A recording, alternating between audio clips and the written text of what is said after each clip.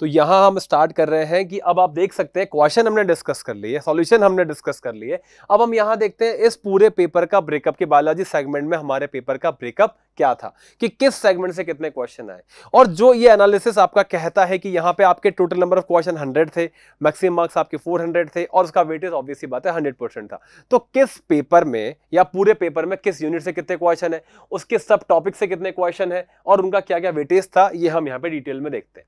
तो जैसे सबसे ज़्यादा देखेंगे कि नंबर ऑफ़ क्वेश्चन थे इकोलॉजी से एक बहुत बड़ी यूनिट है, ट्वेल्थ का चैप्टर है, आपके इलेवन क्वेश्चन थे। और पूरे पेपर का ये इलेवन परसेंट वेटेज कैरी कर रहे थे। इकलौता एक ऐसा टॉपिक जो इलेवन परसेंट वेटेज कैरी कर रहा है इट्स ओन और यहाँ पर आप देखोगे कि हर सेगमेंट से क्वेश्चन है। ऑर्गेनिज्म पॉपुलेशन से तीन क्वेश्चन थे इकोसिस्टम से आपके दो क्वेश्चन थे एनवायरमेंटल इश्यूज़ से आपके थ्री क्वेश्चन थे बायोडाइवर्सिटी कंजर्वेशन से आपके थ्री क्वेश्चन थे। तो इस तरीके से आप देखोगे कि इकोलॉजी से आपके पास टोटल क्वेश्चन कितने आए? Eleven question.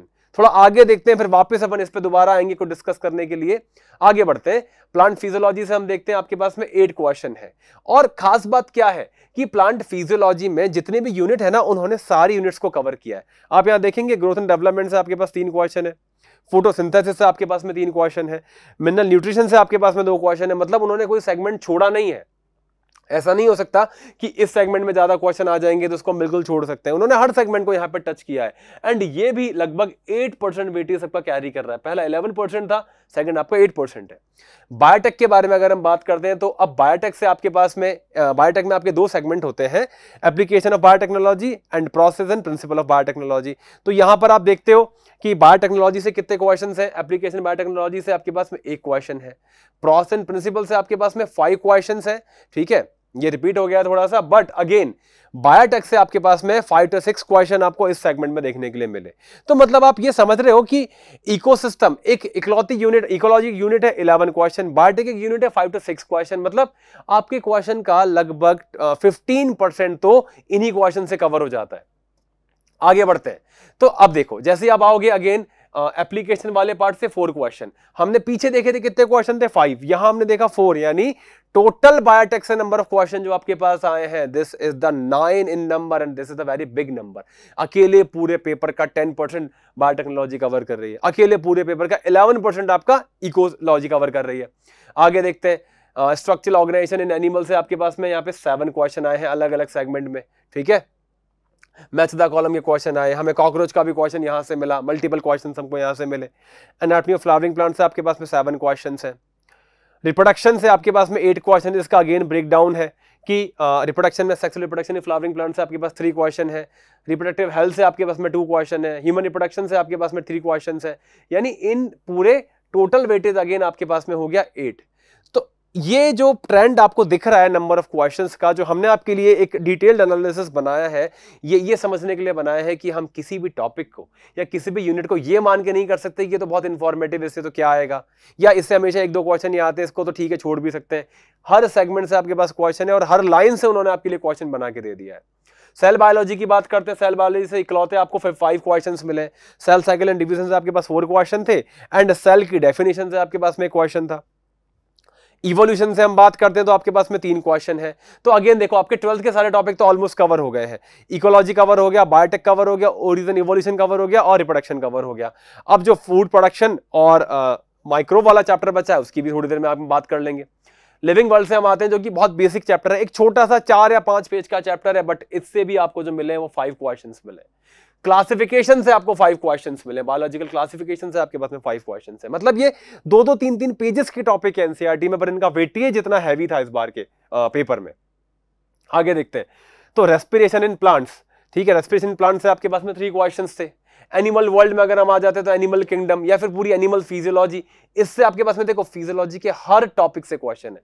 डाइजेशन एब्जॉर्प्शन से क्वेश्चन है, आपके पास में ब्रीदिंग एक्सचेंज से क्वेश्चन है सर्कुलेशन से आपके पास में ब्लड वाला क्वेश्चन था, ठीक है, आपके पास में नर्वस सिस्टम से क्वेश्चन था, जो सिनेप्स वाले क्वेश्चन थे एक्सक्रीशन से आपके पास में क्वेश्चन था एंडोग्रन से आपके पास में हार्मोन वाला क्वेश्चन था पैराथॉर्मोन हार्मोन वाला क्वेश्चन था तो पूरा इन्होंने सब कुछ कवर किया है हार्ट से आपको अकेले दो, तीन या चार क्वेश्चन यहाँ पे चार क्वेश्चन आपको देखने के लिए मिले तो मतलब ऐसा था कि ह्यूमन फिजियोलॉजी से तो बहुत ज़्यादा वेटेज नहीं आता, बस उसमें राइजेशन पढ़ लेंगे तो काम हो जाएगा, नहीं।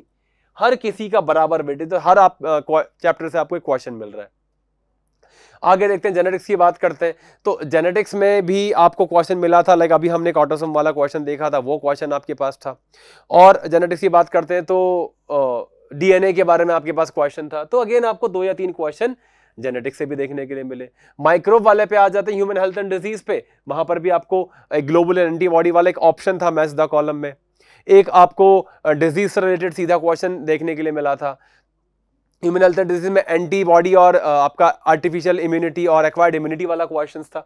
मतलब ये कुछ कॉमन क्वेश्चन है और एक ट्रेंड अगर आप यहाँ देखेंगे तो उन्होंने एक टॉपिक को कवर नहीं किया। मतलब एक टॉपिक से क्वेश्चन नहीं दिया है।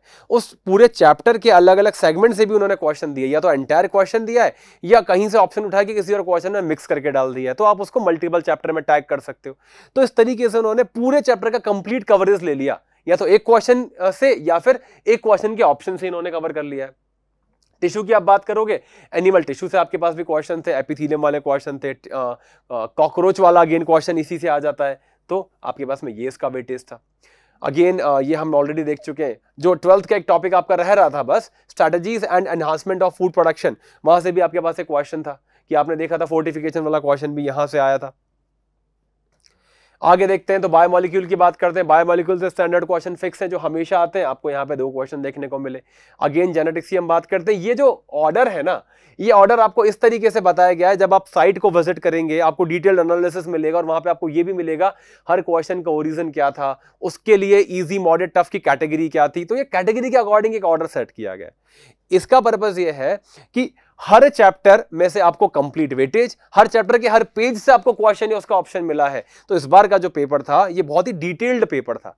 आप वन वर्ड टू वर्ड पढ़ के या स्टैंडर्ड पुराने क्वेश्चन पढ़ के इस पेपर को अटेम्प्ट नहीं कर सकते। और अटेम्प्ट करने की कोशिश करोगे तो सकता आप कर भी लो but it will be taking very much time जितना आपके पास पेपर में नहीं होता, आपके बाकी सेगमेंट छूट जाएँगे।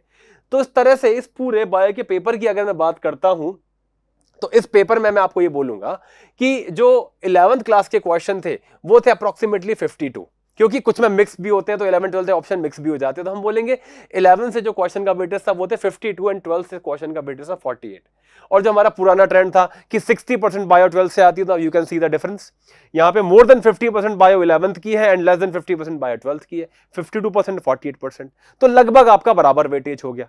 ठीक है? तो इस तरीके से आपको अब ये ध्यान रखना है कि हमें डिपेंड नहीं होना है किसी भी ट्रेंड पे। बिकॉज़ एनटी अपना ट्रेंड कंटिन्यूसली चेंज कर रहा है। क्वेश्चन का पैटर्न इस बार चेंज था ए आर डाल दिए। आश्चर्सन एंड रीजन वाले क्वेश्चन लैंग्वेज में कितने भी सिंपल हो, पर पढ़ने में इतने लेंदी होते हैं कि ऑटोमेटिकली टफ हो जाते हैं। तो इस तरीके से इस बार में बोलूँगा कि बाया का पेपर अगर बहुत टफ नहीं था तो हम ये बोलेंगे पुराने पेपर के कंपेरिजन में या तो वो टफ था, या फिर वो मॉडरेट टू टफर साइड में था। तो इस तरीके से अगर हम देखते हैं तो बाया का पेपर प्रेटी डिसेंट था। बट एक ऐसा था कि आपको उसमें एफर्ट लगेंगे और आप, बिना सोचे समझे या ऐसा नहीं कि आधे घंटे में पेपर बढ़ा दिया। इस तरीके का पेपर आपके पास नहीं था। तो अब जिनका पेपर था, वो अपना एनालिसिस देख सकते हैं। और जो इस एनालिसिस वीडियो को देख रहे हैं, जो अभी स्टडी कर रहे हैं, जो आप एग्ज़ाम देंगे तो उनके लिए मेरा सजेशन ये रहेगा कि इस पेपर से समझते हुए हम ये समझें कि हमें कोई ट्रेंड फॉलो नहीं करना जो चला आ रहा था। इस बार ये ट्रेंड हो सकता है अगली बार कोई और नया तरीके का ट्रेंड आ जाए। तो we should be ready for every situation paper tough भी आ सकता है, बहुत ईजी भी आ सकता है लेंदी भी आ सकता है वन वर्ड भी आ सकता है।